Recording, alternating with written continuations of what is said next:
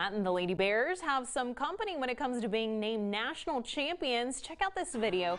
This is a routine that won the McLennan Community College's dance company jazz division a, three national title. Now they won the competition in Daytona Beach, Florida for the third year in a row. A welcome home celebration was also held today at 1 o'clock.